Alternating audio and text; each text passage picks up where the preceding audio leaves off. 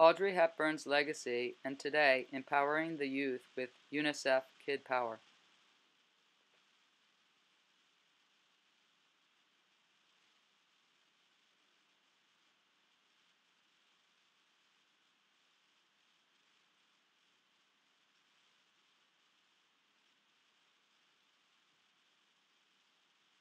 Audrey Hepburn's humanitarian legacy. In the 1950s, Hepburn narrated two radio programs for UNICEF retelling children's stories of war. In 1989, Hepburn was appointed a Goodwill Ambassador of UNICEF. On her appointment, she stated that she was grateful for receiving international aid after enduring the German occupation as a child and wanted to show her gratitude to the organization. 1988 through 1989. Hepburn's first field mission for UNICEF was to Ethiopia in 1988. She visited an orphanage in Mekelle that housed 500 starving children and had UNICEF send food. Of the trip, she said, I have a broken heart. I feel desperate. I can't stand the idea that 2 million people are in imminent danger of starving to death, many of them children and not because there isn't tons of food sitting in the northern port of Shoa. It can't be distributed. Last spring, the Red Cross and UNICEF workers were ordered out of the northern provinces because of two simultaneous civil wars. I went into rebel country and saw mothers and their children who had walked for 10 days, even three weeks, looking for food, settling onto desert floor into makeshift camps where they may die. Horrible. That image is too much for me. The third world is a term I don't like very much because we're all one world. I want people to know that the largest part of humanity is suffering.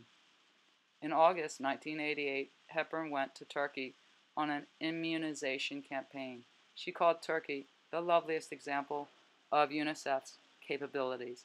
Of the trip, she said, The Army gave us their trucks, the fishmongers gave their wagons for the vaccines, and once the date was set, it took 10 days to vaccinate the whole country. Not bad. In October, Hepburn went to South America. Of her experiences in Venezuela and Ecuador, Hepburn told the United States Congress, I saw tiny mountain communities, slums, and shanty towns receive water systems for the first time by some miracle, and the miracle is UNICEF. I watched boys build their own schoolhouse with bricks and cement provided by UNICEF. Hepburn toured Central America in February of 1989 and met with leaders in Honduras, El Salvador, and Guatemala. In April, she visited Sudan with Wolders as a part of a mission called Operation Lifeline. Because of civil war, food from aid agencies had been cut off. The mission was to ferry food to southern Sudan. Hepburn said, I saw but one glaring truth. These are not natural disasters, but man made tragedies for which there is only one man made solution peace. In October 1989, Hepburn and Wolders went to Bangladesh. John Isaac, a UN photographer, said often the kids would have flies all over them, but she would just go hug them. I had never seen that. Other people had a certain amount of hesitation, but she would just grab them. Children would just come up to hold her hand, touch her. She was like the Pied Piper.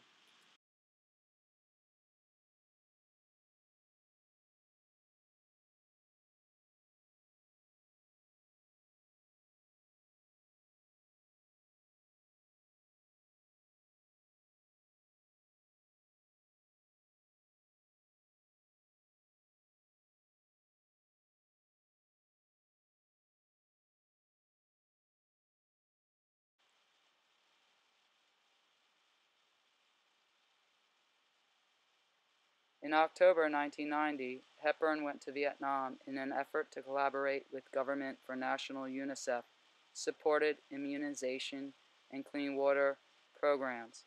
In September 1992, four months before she died, Hepburn went to Somalia. Calling it apocalyptic, she said, I walked into a nightmare. I have seen famine in Ethiopia and Bangladesh, but I have seen nothing like this so much worse than I could possibly have imagined. I wasn't prepared for this. Though scarred by what she had seen, Hepburn still had hope. taking care of children has nothing to do with politics. I think perhaps with time, instead of there being a politicization of humanitarian aid, there will be a humanization of politics.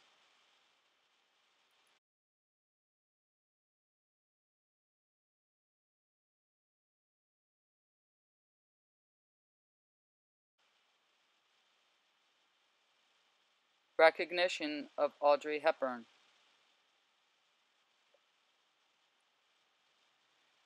United States President George H.W. Bush presented Hepburn with the Presidential Medal of Freedom in recognition of her work with UNICEF, and the Academy of Motion Picture Arts and Sciences posthumously awarded her the Jean Hersholt Humanitarian Award for her contribution to humanity.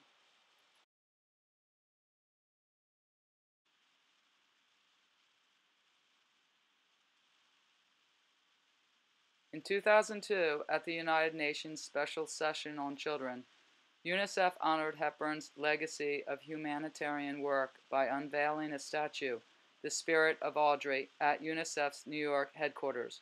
Her service for children is also recognized through the United States Fund for UNICEF's Audrey Hepburn Society.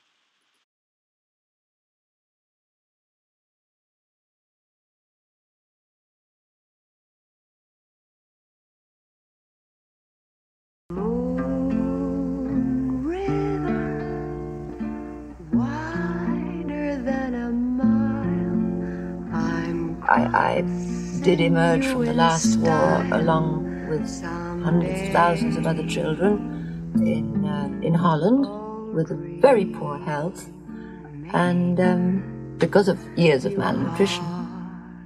And UNICEF uh, did come in right after the liberation with the way they do now in all kinds of emergencies uh, with food and clothing and medication and blankets.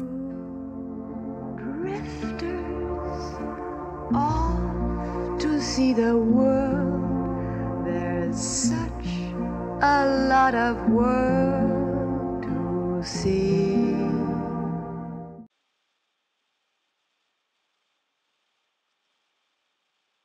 Participation and support with UNICEF continues to open up as many have the gratitude and trust for what it does.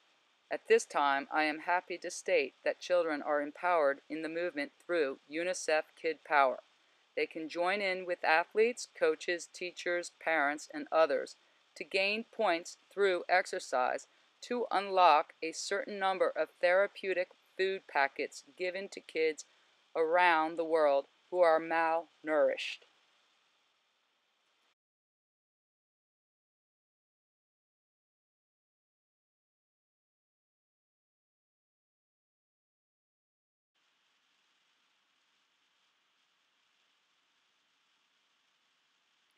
Kid Power uses the world's first wearable for good to get kids physically active to help their peers. Kids have the power to end global malnutrition by getting active to save lives.